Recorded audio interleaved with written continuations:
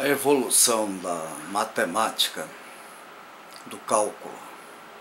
Uma das coisas mais fantásticas que os computadores, as calculadoras e tudo isso que veio com a invenção dos chips, software, hardware, de todo tipo. É um negócio assim maravilhoso, fantástico, né? É, Para quem é, tem 71 anos, não canso de repetir isso, estudou engenharia de, década de 60, é, significa uma mudança radical. Né? Eu sou da, da época da régua de cálculo. Provavelmente a maioria dos estudantes nunca viu isso antes, ou se viu foi em museu. Tá? Fiz curso de nomografia, que que era? Era uma maneira de...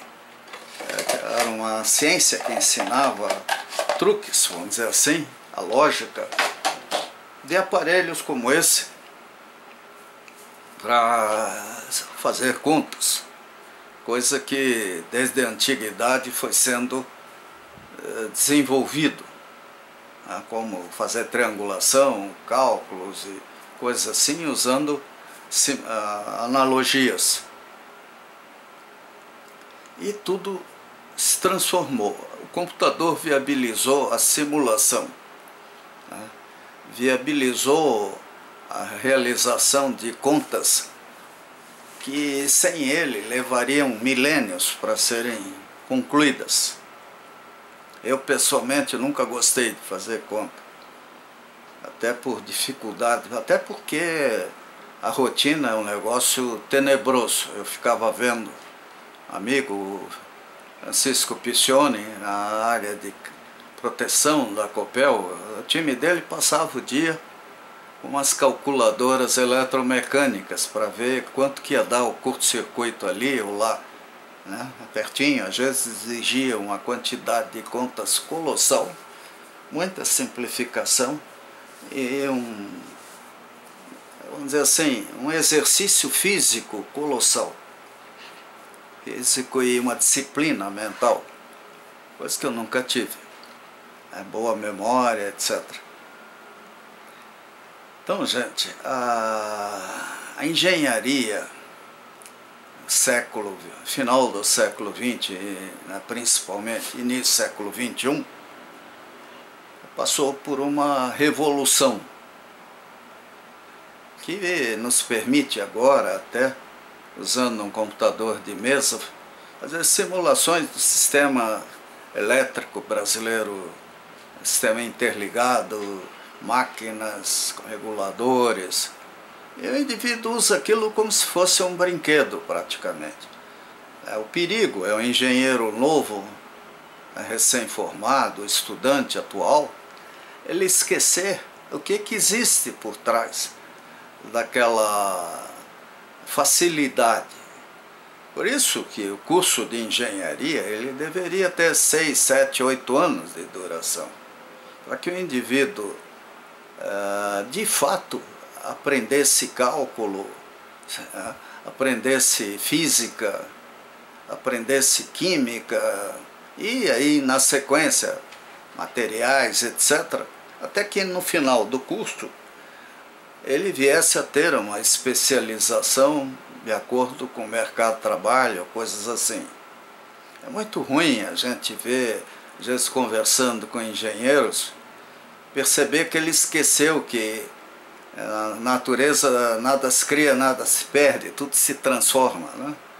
E a maravilha do cálculo, quando a gente vê, às vezes, uma Albert Einstein num quadro negro fazendo as equações dele, a gente vê como é maravilhoso o cálculo, como ele ali, eh, de uma maneira simbólica, ele compactou uma quantidade infinita de é, conhecimento. É, esse é o lado que tanto a simbologia matemática quanto os métodos modernos de calcular permitem, mas não podemos, em hipótese alguma, esquecer a essência. Por que, que os acidentes acontecem? E acidentes gravíssimos. Porque o engenheiro de segurança às vezes entende de tudo, menos daquilo que devia para valer. Né? Ah, o projetista fica seguindo manuaizinhos e não percebe que está no limite de certas estruturas, e assim vai. Por isso que uma boa equipe de engenharia é uma coisa rara. Né? Por quê? Porque precisa ter um, uma capacidade de raciocínio privilegiada. E aí vem o, o lado negativo da Lei 866 federal de 1993, se não me engano. É uma lei errada, uma lei mal feita, uma lei simplória. Né? É, tudo precisa ser visto de novo. Os acidentes, como o da Samarco, né? é, são tremendamente constrangedores. Onde é que estavam os engenheiros? Será que eles tinham capacidade? Ah, mas tem RT, tem. Isso não vale nada. Isso só vale do ponto de vista formal. Né? Quem é que é, selecionou essas, essa equipe? Né? E depois até como o doutor João Augusto Bastos insiste em falar, a conscientização social desses profissionais.